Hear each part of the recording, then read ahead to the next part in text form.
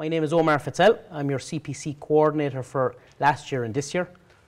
Um, as it says there, I'm a PHECC EMT. I'm involved in voluntary pre-hospital care with 15 years. I'm a member of An Garda Síochána with 12 years. I'm a PHECC tutor and PHECC examiner. Those last small points though, those last four aren't important. What's important is I'm an EMT. The exact same as ye. I had the exact same problems getting my points as ye. I know exactly what you're facing because I go through it as well. Forget about all the rest. I am at the end of the day an EMT just like you. And I'm here to assist you, not just coordinate CPC. So, what are we going to talk about tonight? My talk was on about 56 or 7 minutes. I'm sorry. I'll try and make it as light as I can for you. And after that, we're going to break up um, for our breakout sessions. But our contents in regards, what I'm going to cover is the history of CPC in Ireland, very briefly. We're going to go through our assessors, six of whom are here tonight.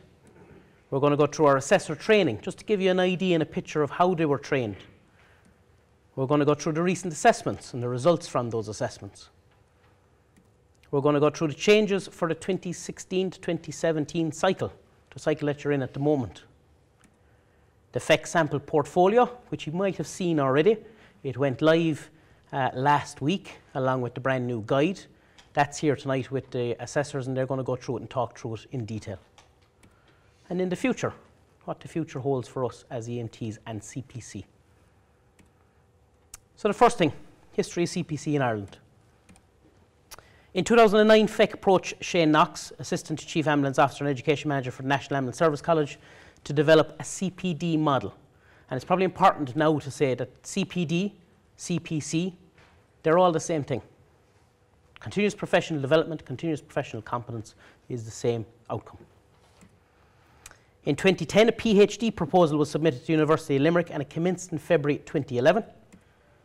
The PhD objectives included reviewing current CPD requirements, engaging with registrants, drafting CPC guidance documents, and an assessment post introduction of CPC requirements. All registrants were engaged with, however, the focus from the start was on us as EMTs to engage with the process. An EMT guidance booklet, or the Green Book as we kind of call it, uh, was published in November 2013 and distributed to all EMTs at the time on the register. So if you were on the register in 2013, you should have got a copy of the Green Book. Anyone, unfortunately, who registered since didn't get one. So if you're newly qualified in 2014, 15, or 16, you got no guidance on CPC. And unfortunately, that's our fault. Mandatory CPC back then was introduced for the first practitioner level, EMT, for a three year period. It was a three year cycle at the time. And PHECC's roadmap was to incrementally reduce, or sorry, introduce the following assessment and audit procedure by February 2014, sample documentation by April 2014, and electronic records or an e portfolio by August 2014. And guess what? Didn't happen. Absolutely, it didn't happen. Who's to blame? We're to blame. None of them were completed in 2014. But since July 2016, and since the uh, CPC has been driven on, uh, pushed, we have an assessor panel. We have assessments completed. The first round of assessments are done. We have a new sample portfolio designed and launched. We have a new guidance document, which is on the website and will be printed for every single registrant. Two and a half thousand of them are going to print as we speak. They will be forwarded to everyone, and everyone who qualifies from here on will get it. And an e portfolio is underway. We're going to talk a little bit more about that later on. Come on, don't be afraid. Take a seat. So, our assessors. An expression of interest was designed by myself and sent to everyone on the EMT register. Back in August, everyone got uh, a group email if you want to uh, register your interest in becoming a CPC assessor. Applicants had to possess certain skills, knowledge, and experience which were relevant for assessors, the likes of uh, previous proofreading experience, being a CFR instructor, a couple of more bits and pieces. They were all listed on the expression of interest document. A marking matrix was designed and heavily weighted on these skills, knowledge, and experience. We had 77 applications for the 10 positions, and the highest scoring applicants were then invited onto the assessor panel. So we reviewed 77 applications. We individually marked all of them, and the highest scoring ones were offered a place on the panel. And I'm quite happy to say that the 10 places that were offered were all taken up. So, who are they? Your assessors are John Scully, Ingrid Burns, Garrett Elbel, Peter McDade, John Lally, Neve O'Leary, Pat Merrick, PJ O'Gorman, Colin O'Leary, and Gillian Duffy. Who are these people? They're EMTs, just like you, facing the same problems with CPC, just like you. Their backgrounds? Their backgrounds include the National Ambulance Service, Fire Service, recognised institutes, Irish Red Cross, Irish Coast Guard, Order of Malta Ambulance Corps, Civil Defence, St John's, the Health Service Executive, and Irish Water Safety. And you can see there, there is a very much diverse um, backgrounds within our CPC assessors. And that was not by design. They got no extra points for being with different organisations. It just happened that the 10 people we picked came from every walk of life, which is fantastic for us because if we have a question with a cert from one of these organisations, we can go to our assessor and say, Well, were you at this? Do you know people who were at this? How many points were issued for it? So the assessors themselves are expected to maintain the highest standard of integrity and they may not bring PHECC into disrepute. They're held at an extremely high standard. They're to remain impartial at all times and remove themselves from any portfolio assessment which they may have a vested interest in. So the portfolios are given at random to each assessor. If they feel that they cannot assess it properly, they must remove themselves. And you'll see how we check that later on. There is a bit of quality assurance there to make sure that an assessor cannot uh, make somebody unsuccessful when they shouldn't be made unsuccessful. Assessors themselves will remain on the panel for three years and they may be extended. At the moment, we have 10. That will probably uh, climb higher if we decide on a high number of registrants to audit every year. But at the moment, we're staying at 10. And 20% of the assessor panel will have their portfolios assessed each year. So if you're on the assessor panel, you have a huge chance of having your portfolio assessed. Again, we hold them at a higher standard. We expect them to have a top notch portfolio, that they have all their CPC points and that they're correct. And if they don't, they cannot remain on the assessor panel. So, how do we train them? All of our training is based on research or best international practice and was delivered by suitably qualified and experienced practitioners and educators. Educators from Ireland. We didn't have to go outside the state. We have some of the best practitioners and educators in, in the world here in Ireland, believe it or not. So we utilised them. We brought them in to deliver the training. Most common reflective practice models were identified. Case study marking matrix was created, and these were all delivered to our assessors as we went along. We have a marking rubric, which we'll talk about later on. Uh, that's there for case studies. You'll see that. That will go on the PHECC website just like OSCE's are. So you'll see how we mark case studies. Totally open, totally transparent. We're not here to catch you out. Training was carried out over two days in September 2016 at the National Ambulance Service College in Ballinasloe. The didactic training delivery, so the theory based training was delivered by Dr. Shane Knox, who delivered uh, the history of CPC in Ireland, so his studies and how he brought CPC about. I myself delivered the CPC assessment process and how they were going to physically assess portfolios. Roisin Maguire delivered case studies. Roisin is a paramedic with Civil Defence. She's the principal of the Civil Defence College. Paul Lambert, who is a divisional officer at Dublin Fire Brigade based in the O'Brien Institute, delivered reflective practice. And Neve O'Leary, one of our assessors, delivered journal reviews.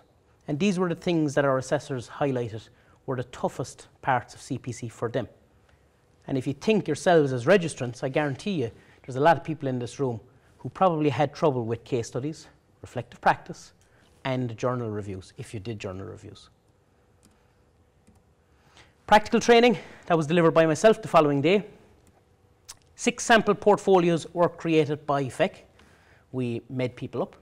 We created fake licenses, created fake, fake CFR courses or certs, um, wrote out case studies with problems in them, wrote out bad reflective practice, good reflective practice, and we made up uh, six portfolios. We actually made up seven, but six of them were reviewed in pairs. And we swapped the pairs around each time to make sure that each assessor was assessing properly to the standard. and they were feeding off each other. One sample portfolio was then reviewed on their own, and we collated the results. We matched them all together, and everyone matched. They all found the proper faults within reason. They all found the portfolio to be either successful or unsuccessful, and they all passed. And I'm pleased to say that every single assessor was put on the assessor register, marked number 1 to 11. And they have numbers, they don't have names when they're assessing. It's all done by numbers.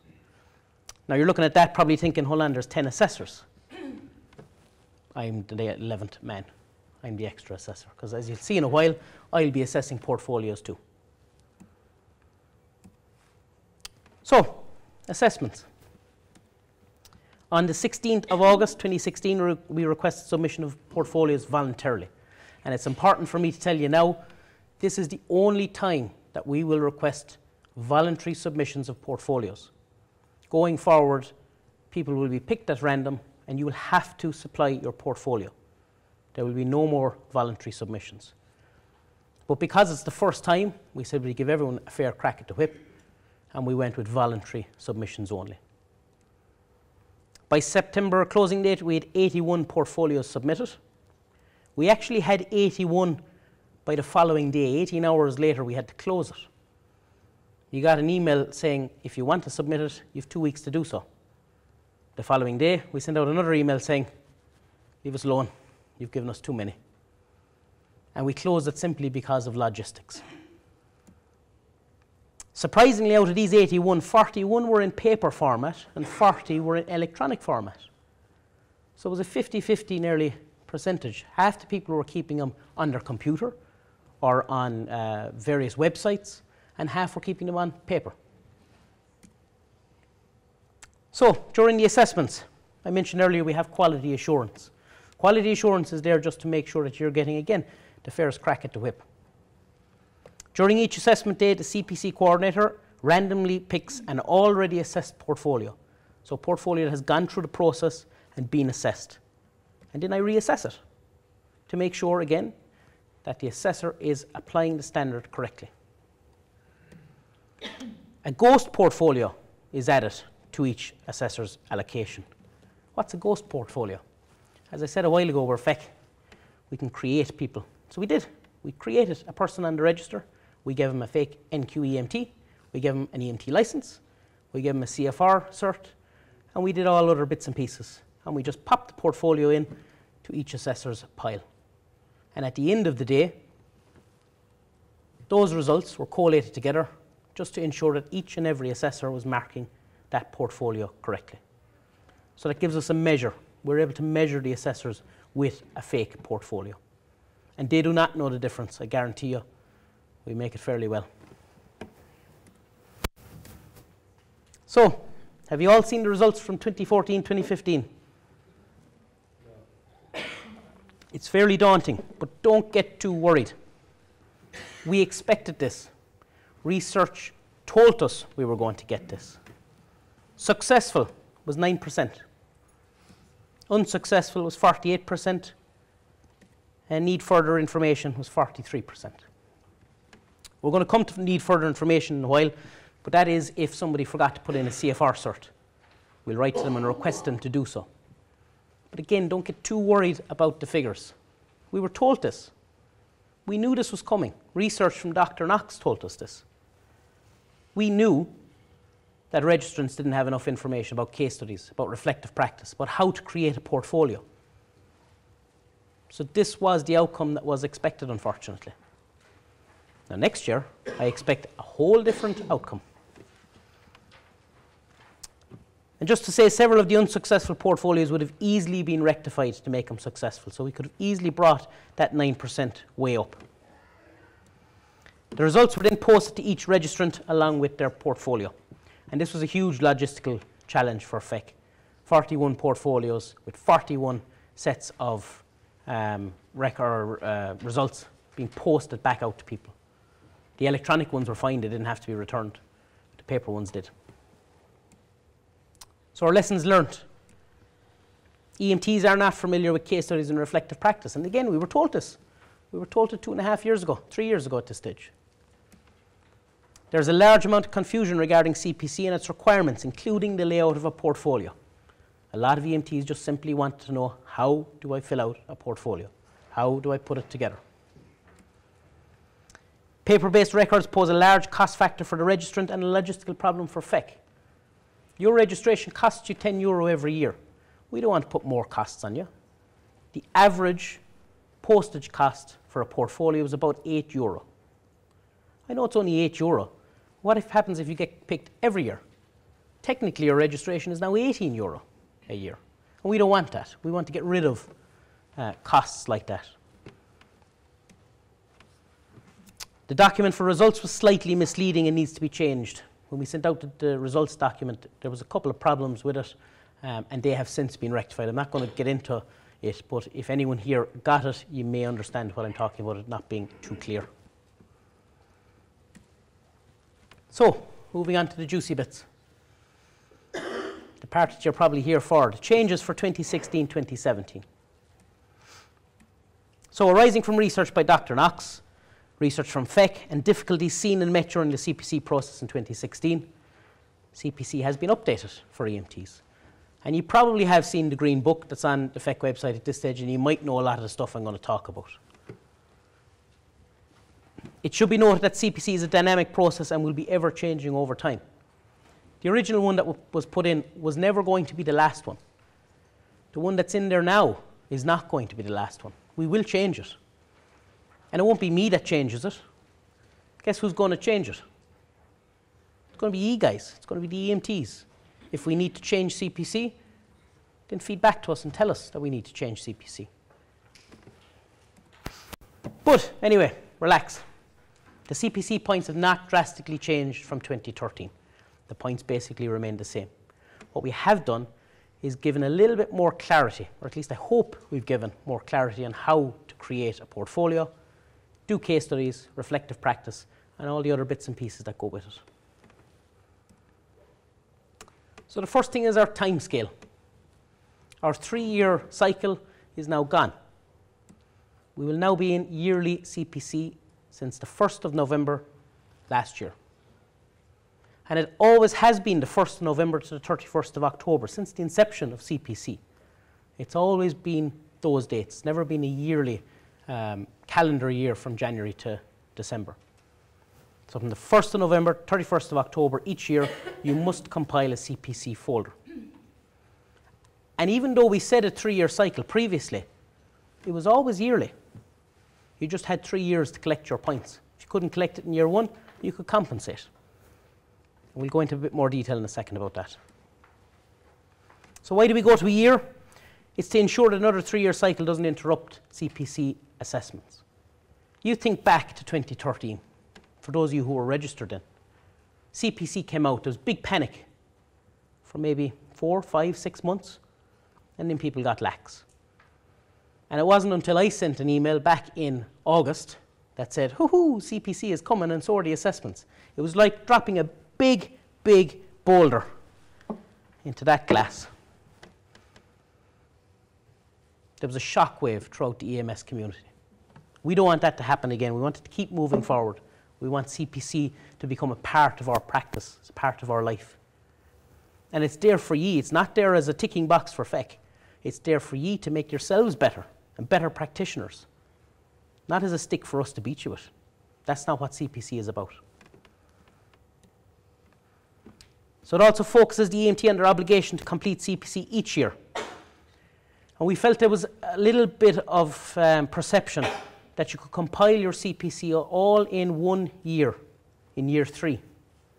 That you could do nothing in year one, nothing in year two, and then panic and do everything in year three. And that was never the case.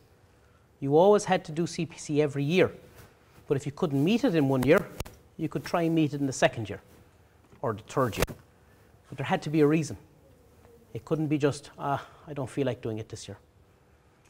You still had to do it. So what about if you can't complete CPC?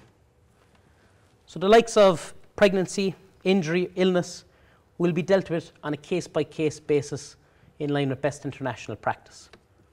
HCPC in the UK do pretty much similar um, things with their CPC. Registrants are reminded that you can suspend your registration in such cases. You can pick up the phone to PHECC and say, I am out, it's sick, I'm ill, I am, not me, but a female may ring up and say that they're pregnant, they're going on maternity leave, uh, and you can suspend your license. You can hit the pause button. And in cases like that, when you come back on the register, we will only look for CPC pro rata. So if you're out maternity leave for six months, we'll only look for six months CPC, whatever you're back for. And again, if you're ill or injured for the year, we will take it on a case by case basis. You can apply to PHECC and we can uh, put your CPC aside for the year.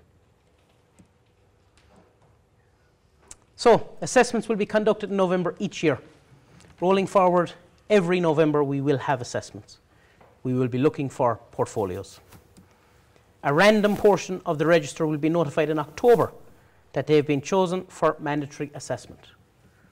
So we'll set a percentage, we'll put it into a random number generator, we'll pull however many EMTs out of it, and we'll write to you four weeks before you, we require your CPC folder. You'll get told in October. Why? Because again, it's not a stick to beat you with. We're giving you CPC to make you a better person, to make the profession better, not to beat you with a stick. So you get four weeks, missing a point here and missing a case study there, and you can go and get it. So again, we're trying to be as fair as we can to EMTs. We just remind you that it is the registrant's responsibility to have their portfolio completed by the 31st of October for assessment. And you must have it ready on the 31st of October every year, whether you've been asked for it or not. You must have it completed and ready. Portfolios can be requested for the previous three years if applicable. So we're not going to do it this year. We're not going to do it next year. But in three years' time, we could come to you and say, okay, I want 2016 to 2017, that CPC cycle. So from now on, you must keep your CPC folder for at least three years. You're doing it yearly, but you're keeping it for three years. And failure to submit a CPC portfolio where required will cause you to be removed from the re-registration process. You won't be able to re-register for your license without it. It is in your code of ethics.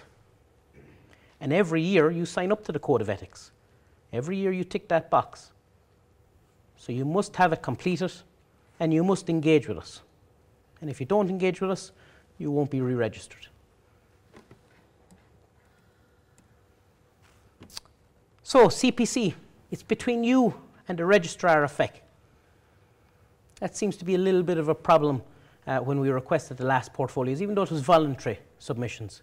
People were coming to us telling us, well, my unit has my portfolio, or my voluntary has the portfolio. CPC is between you, the registrant, and the registrar of PHECC. If you want to give your CPC portfolio to a, a, voluntary service, or it's required by a voluntary service, by all means you can give it to them. But we'd advise you to give them a copy. Because when we come looking for it, you have to have it ready for us. Okay? So, how are we going to mark the portfolios? How are we going to assess them? Standard met is the first one. You've met the CPC requirements in full. Nothing to worry about. All done and dusted. You may get feedback, the likes of your case studies and maybe how to improve one or two bits and pieces, but you've met the standard. You don't have to take the feedback on board. We've deemed you to meet the standard. Off you go, you re-register. The next one is more information required. So we require further information from you within four weeks. For example, if you've forgotten to include a CFR advanced cert, or as the lads will go through later on, you've put in a CFR cert for the wrong date, or your CFR cert has lapsed during the cycle and you only put in one cert. If it has lapsed, we'll require the old one and the new one to keep the cycle full. So we can write to you and ask you for small information or small bits and pieces like that.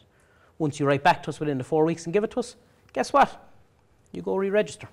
No problems. And the last one is standard not met where you've not met the EMT CPC requirements for that cycle.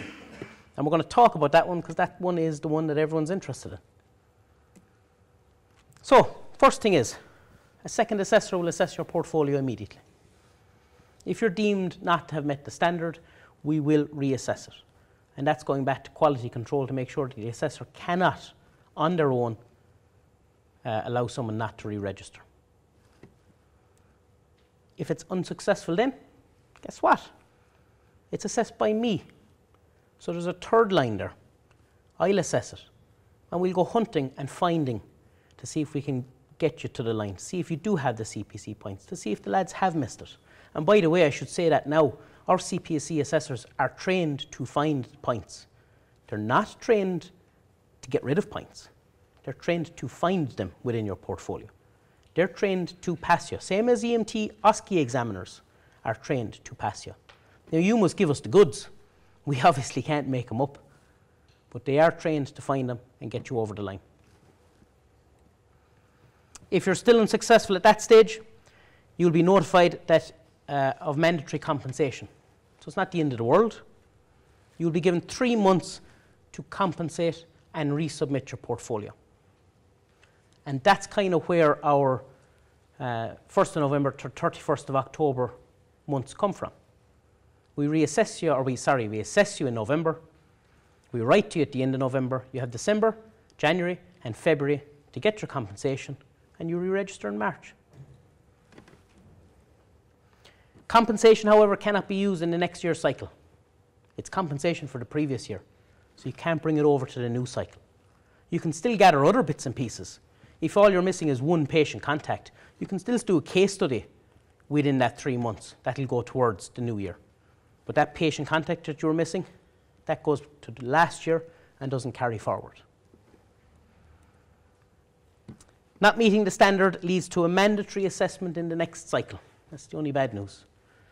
So you don't meet the standard, you get your three months to compensate, you compensate, you send your portfolio back in and it's successful. You re register. But unfortunately, you're going to be assessed the following year. And that's twofold. That's to ensure that you don't use the compensation again, and it's to ensure that you understand CPC. We want to make sure that you're able to do it. Because again, it's not about us beating you with a stick. It's about you bringing yourself on as a practitioner, you broadening your education. It's about us bringing on the EMT field and bringing it up, bringing it higher, and making it more professional and more accountable. So, what if I've not met my requirements and not been called for assessment? Because only a certain percentage will be called for audit. Well, if you haven't been called for audit and you haven't met your requirements, you yourself are obliged to compensate before you register in March. So if you know you've only 10 patient contacts, you must get the other two before March deadline comes. EMT must record the reason for not meeting the requirements and how they compensate it. So you must list it. And when you see the sample portfolio, you'll see one of the last pages says that. It has an outline of how uh, you, or why, sorry, you haven't met your requirements and how you have compensated. EMTs are reminded that the previous three-year cycle of portfolios, or sorry, three years of CPC portfolios are subject to assessment. So if you don't compensate, and three years down the line we look for that portfolio, then unfortunately you're in a little bit of bother. And why are you in a little bit of bother? I'm not going to even read the last line of fitness to practice, but when you re register, and a lot of people in this room have re registered, I hope? Yes? Brilliant. Remember all the boxes that you ticked? You ticked the Code of Ethics. Well, in the Code of Ethics, section 3.2, I think, states that you have done CPC. And you're ticking the box and making a declaration to the effect that you have done it and you have completed. It. And guess what? You ticked it last year too, and the year before. But we won't worry about that. So, this is our kind of, it's like a CPG, but it's not, it's a flowchart. Can't say CPG because Brian Powers in the room and he might throw something at me. But this is our little flowchart for uh, CPC assessments. So you have successful, go straight to re-registering. You have your um, more information needed in the middle, four weeks to provide that information. We reassess the portfolio. If it's then successful, you re-register. If it's not, you go into the unsuccessful pile. When you go into the unsuccessful one, it's reviewed a second time by an assessor. If it's successful, you re-register. If it's not, it comes down to the coordinator. It's reassessed. If you're not successful then, you're given three months to compensate. And I should say that the compensation is only what you're missing. You're not penalised in any way. Again, you're missing one patient contact, you're only required to get one patient contact. There's no penalisation whatsoever. Once you send it back to us done with your three months compensation, you re-register. Simple as that. That'll be on the PHECC website in the next couple of weeks. So, the requirements, the meaty bits. Excuse me. No major change from the 2013 requirements. Everything is staying the same. Wasn't our function to change CPC totally. CPC is there and it's workable. We do believe that EMTs will be able to do it very easily once you're given the knowledge and the tools to complete it. And that was our goal when we started out this process. We now, however, are divided into three sections where we were two sections before. Section one is your practice statement. We're going to go through these one by one. Section two is your basic requirements. And section three is your additional requirements where the self-selected items are included in that. So, practice status, section one. The first thing is your practice setting. And this is more for statistics to see where our EMTs are based and what our EMTs are doing. The first one is your main service provider. So, who do you work for or who do you practice for? So, it can be voluntary or you can be working full time. The location within the country that you are, and your capacity is it voluntary or paid? And on the sample portfolio, you'll see that there's three spaces for you to list three different organizations because you could be in the National Ambulance Service, and you could be in a voluntary service, and you could be working for a private CPG organization as well and many more. We don't mind how many organizations you're in. We just ask you to list them if you are in them, and your capacity paid or voluntary. And the next bit is your statement of context. Statement of context hasn't really changed, it's still there since your last uh, cycle. It's an important part of your portfolio, it's an introductory statement that gives us an idea of who you are. And our assessors found that it's very hard to assess a portfolio if they really don't know who the person is the challenges that they face.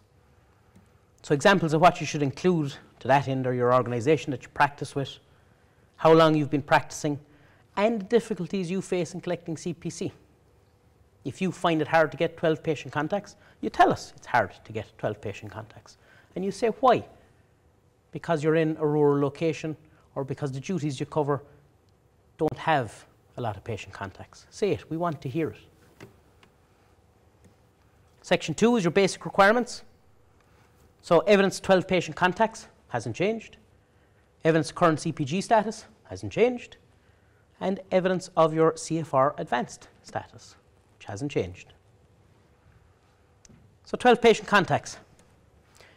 A patient contact will be accepted where an EMT has completed a meaningful intervention during a patient's care. So one of the things that EMTs fed back to us was that they want to know exactly what a patient contact is. I can't tell you, and I don't want to tell you. I want you to tell us what you did to the patient. Once you treat a patient and do a meaningful intervention, be it a full set of observations, be it a sample history with the patient, be it putting on a splint on the patient, that's a patient contact you tell us how you did it. And when you see the sample portfolio, if you haven't seen it already, it shows the little bit of information that we're looking from that. And it's only basic information. More than one EMT can be credited with a patient care for one patient, provided that they comply with the point above. We want to stop EMTs fighting for patient contacts. Nearly coming to blows because it's the one patient that they've got all month. And everyone's laughing because everyone has seen it. I've seen it myself. I'd stepped between two EMTs one day because of it. Do not fight over patient contacts. Help each other, assist each other. I'm going to throw you out an example. You've all seen the CPG that came out last year, Team Resuscitation. Yeah? Excellent CPG that takes us through uh, a team doing resus. So, let's look at the patient. There's somebody at the head managing airway. Is it a patient contact for them? Are they doing a meaningful intervention? Absolutely. patient, or sorry, practitioner on the right hand side of the patient doing chest compressions. Meaningful intervention? Yes. Patient contact? Yes. Absolutely. Person on the left hand side of the patient. He's taking over doing compressions when the other fellow gets tired. Is he doing a meaningful intervention? Yes. He or she? Is it a patient contact? Yes. One patient, how many patient contacts? Three. Three. I'm not telling you to be creative. That's not what we're here for. We're not here to tick boxes either. If you do something to the patient and it's meaningful, you put it down. Next question is, oh, but wait, there isn't enough space on the PCR for my number. I don't mind. We look for a PCR number or an ACR number if you can give it to us. But your number doesn't have to be on the PCR. And again, another example is in my line of work, we could be dealing with somebody on the side of the road, put them into the back of the ambulance, the ambulance goes off. Do I run after them and stop the ambulance for the PCR number? no, I don't. If I can get it, I'll get it. But if I can't or I forget about it, it's gone. And again, our assessors will go through that later on on how to catalogue patient contacts. But I want to get it across. It's not about ticking boxes. We want meaningful interventions. We want real patients. But you can do it with more than one EMT. You can have two EMTs treating someone. No problem once it's indicated. I don't mean to bring in one patient and 10 EMTs go around and say, How are you doing? That's not 10 patient contacts. A little bit of common sense has to come into it.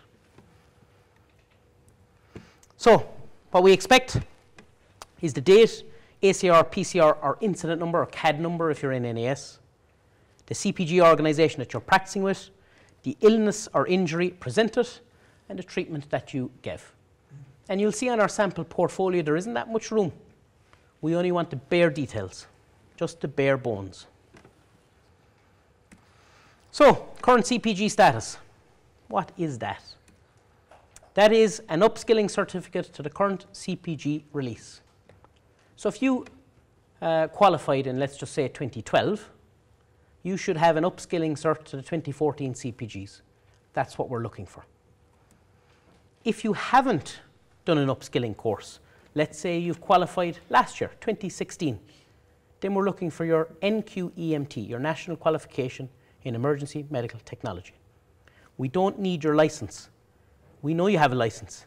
We've asked you for your CPC folder. You have to have a license if we've asked you for your CPC folder. So it's either an upskilling, or if you don't have one, because you're newly qualified, your NQEMT. And you'll be happy to know there is new CPGs on the way but I didn't say that.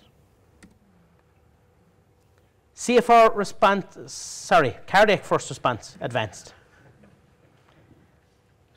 So, certification is required to be in date to practice. You have to have an in date CFR advanced cert. It's renewed every two years, as you know. It lasts 24 months. But we require a refresher to be completed once 12 months has elapsed. So once 12 months has gone in your C, uh, CFR cert, you are required to do a refresher. The refresher is to be required by way of a cert issued by a CFR advanced instructor, and it should include the EMT's name, PIN, and the date it was completed. Nothing fancy, just a cert with their details and your details. And a CFR refresher course is just that. It's refreshing you on your skills and knowledge. It does not necessarily mean that you have to go through the entire CFR course again. The instructor can run skill sessions and theory sessions with you. So, section three, your additional requirements. Additional requirements has 16 CPC points. If you remember back to your last cycle, you had 18 CPC points. And the reason that there's two removed from here is because we've already talked about CFR Advanced. That still holds two, but it's gone into Section 2. Section 3 is all the stuff that you can pick and choose from. You could never pick and choose from CFR Advanced. You always had to have it, always had to do it. So, mentor, mentee, and or lecture, tutor, instructor is worth four points still. We're going to go through these reflective practice and our case studies, again, four points. And your self-selected options is eight points. Has anything changed? No, still the same. So, mentor, mentee, and or lecture, tutor, instructor. They're in one little requirement together. Four CPC points awarded as a minimum. You can do as many as you want. We're only looking for four. Can be one single item or can be a mix and match. And it's awarded on a one point per hour basis.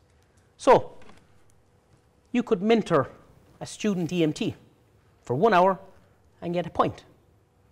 You could be mentored by a paramedic for one hour and get a point, or around two points. You could be a qualified tutor. You could deliver one session in an EMT course for an hour, and now we have three points. Then you could be a CFR advanced instructor or a CFR community instructor and deliver an hour on that, and there's your four points. And you spread it across them all. Or you can pick one and just blow it all out of the water in one. It's up to you how you want to do it. So, mentor mentee.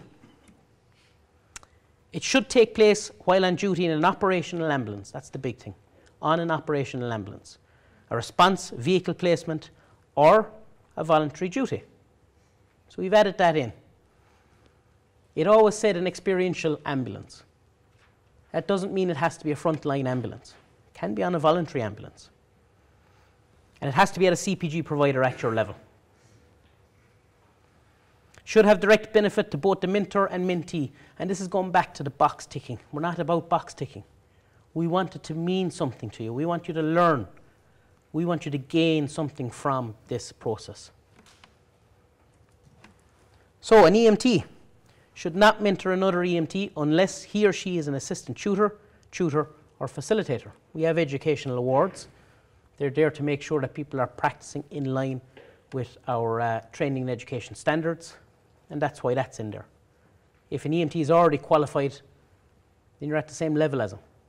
If you're a tutor, assistant tutor, or a facilitator, then you should know the education standards back to front, and then maybe you may, might be able to pass on a little bit more knowledge. However, all is not lost. An EMT who has completed one cycle of uh, 12 months of CPC can mentor a student EMT or an EFR. So that opens it up and broadens it a bit. It broadens it in such a way that maybe you might be interested in getting involved with training EMTs, taking them out on duties, assisting them, helping them, bringing them on. Again, it's not a box ticking exercise, it's about your development and the development of the profession. Teaching goals should be listed for the mentor, while learning outcomes should be listed by the mentees. And again, on the sample portfolio, you'll see where that is. What did you learn from the experience? What did you gain from the experience? Lecture, tutor, instructor must be qualified to instruct at that level, and you should attach your relevant cert. You should note the following what topic was delivered, so what did you teach on, what course you delivered on, teaching goals of the session, who your audience was, and any learning outcomes that arose for you as an educator. Because generally, when we do teach, we learn something new ourselves, no matter how small it is. Reflective practice and our case studies. Again, four CPC points awarded as a minimum. This is in its own little requirement again. Can be two reflective documents or two case studies. Or alternatively, you can mix them and match them. Whatever way suits you. Two points are awarded per document or per case study. So for every reflective practice you do, you get two points. For every case study you do, you get two points. So you can do one case study and one reflective practice, or you can do two reflective practice or two case studies, whatever suits you. So, reflective practice. And we said this already tonight.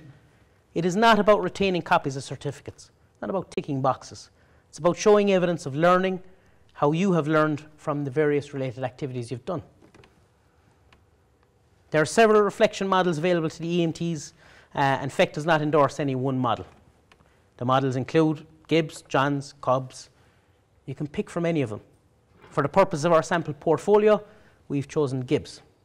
But again, you can pick any model that you want.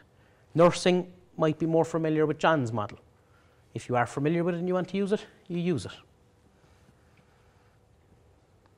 Oops, sorry.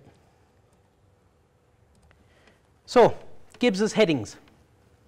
We have description, feelings at the time, evaluation, analysis, conclusion, and action plan.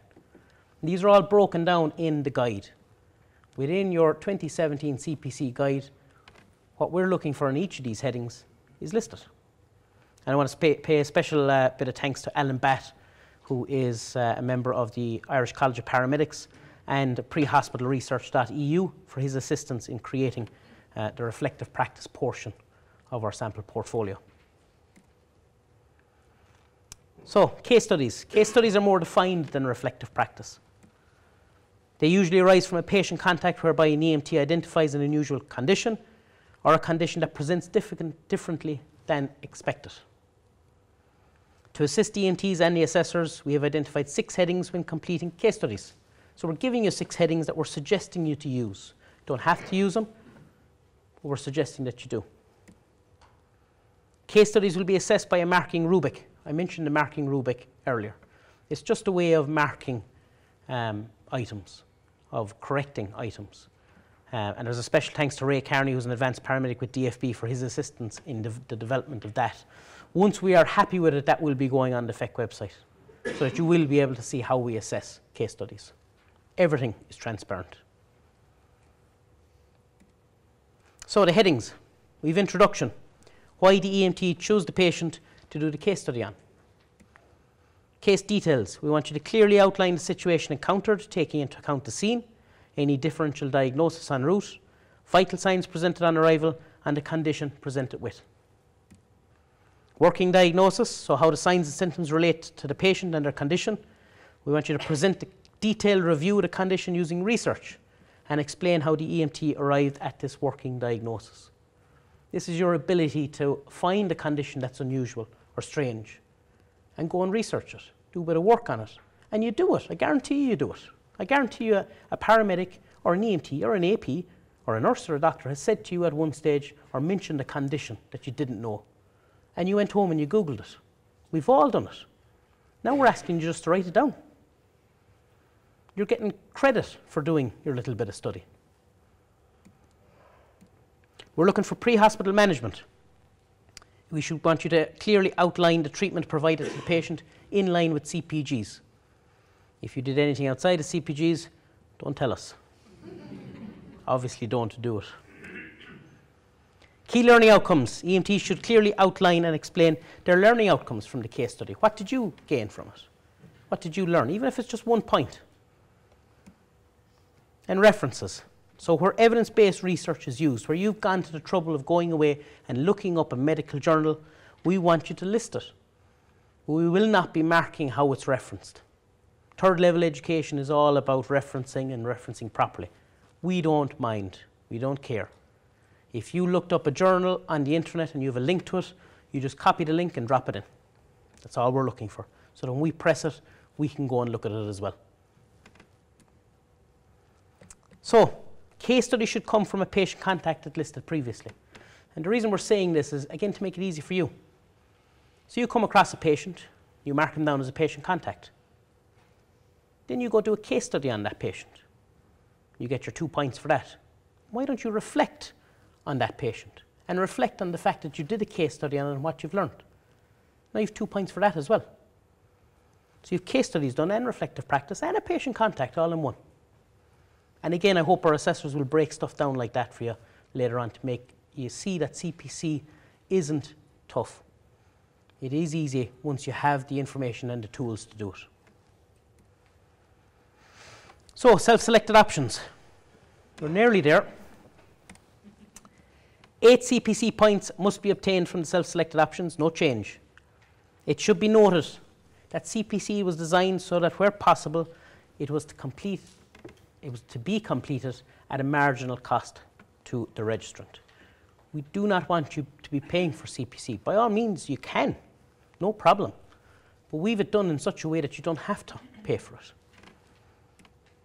Several CPC points are free to complete, which we're going to go through in a second.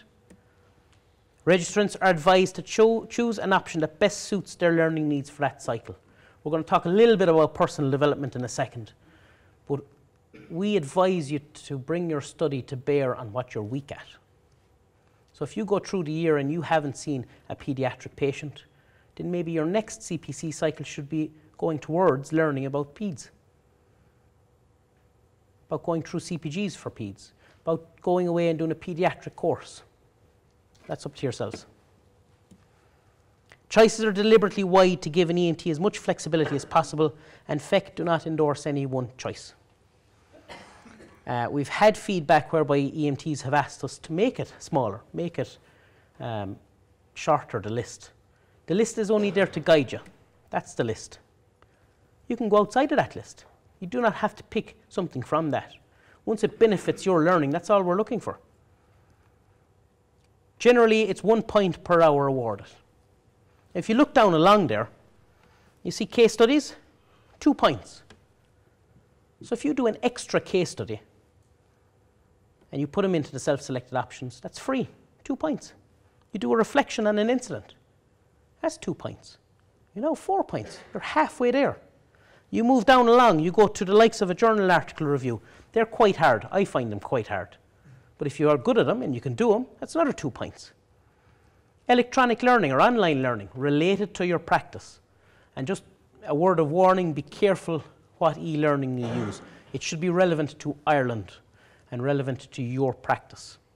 Some of the online learning stuff can be a little bit off the wall.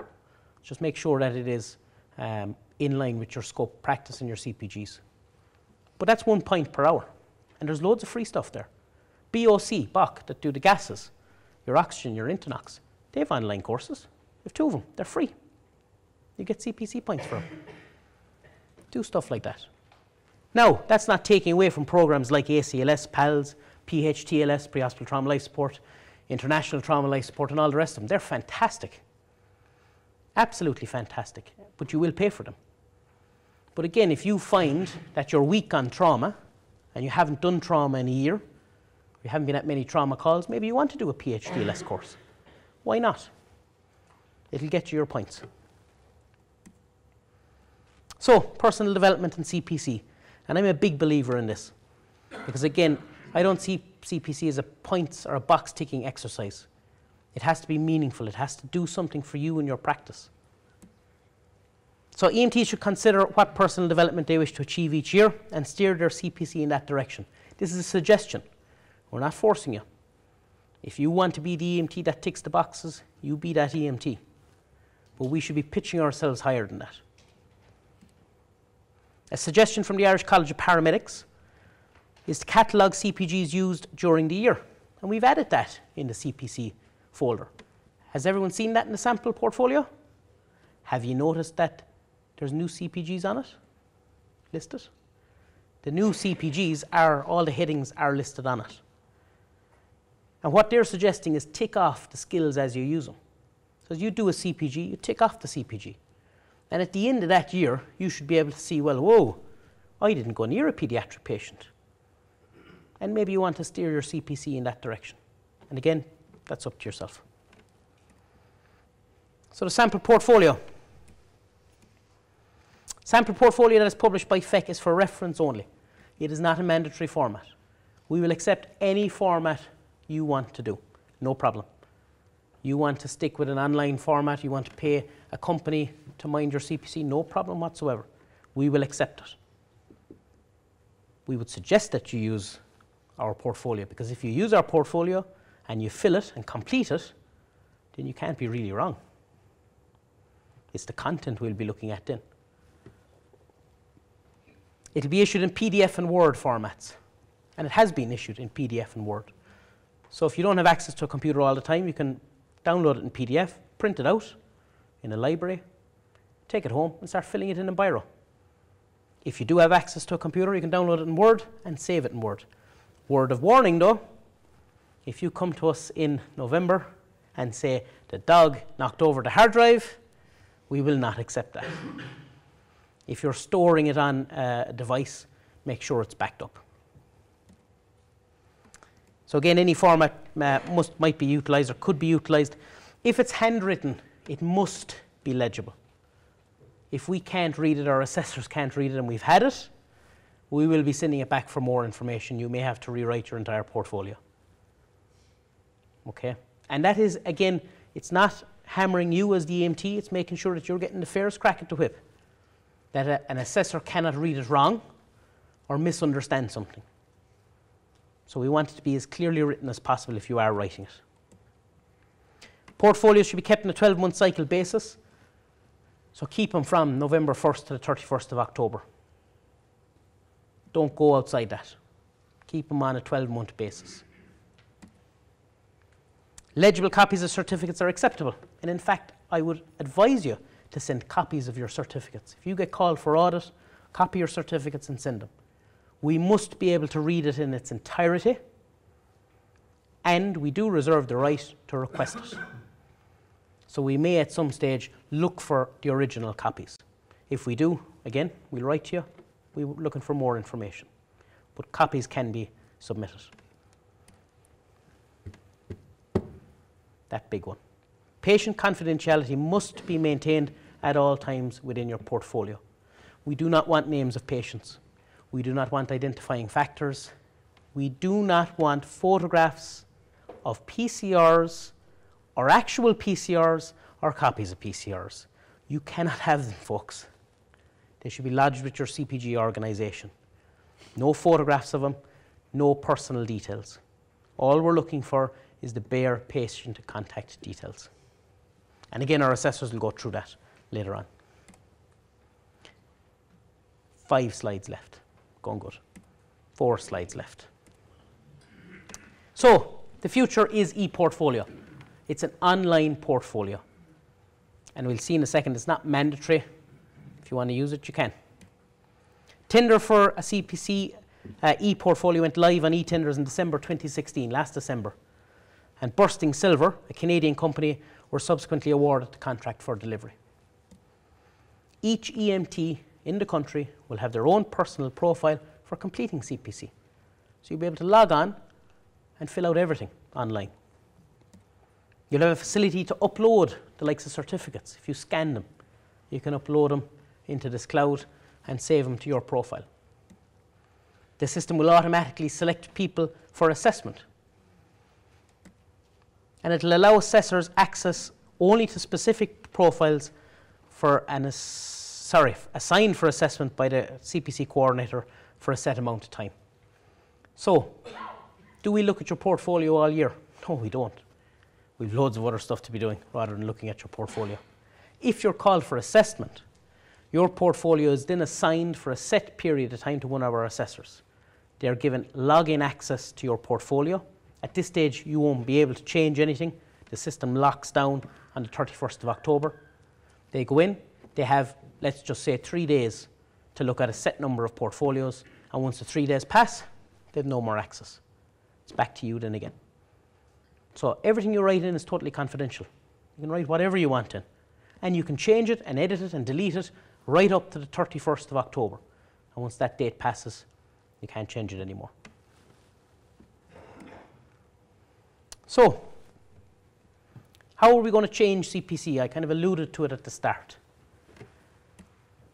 Surveys, surveys, and surveys. How many surveys have I sent out? Probably too many too many was the last call we got in Galway. The reason we send surveys is because all our policies are changed by surveys. So we want you to engage with us. Have your say. Tell us what you want. If we're sending out a survey, it's not because we woke up in the morning and decided, I want a load of work today. Let's send out a survey. It doesn't happen like that at all. If we send it out, we're sending it out for a reason. And we want interaction from you. So have your say. Don't be afraid to send suggestions or improvements. They don't fall on deaf ears.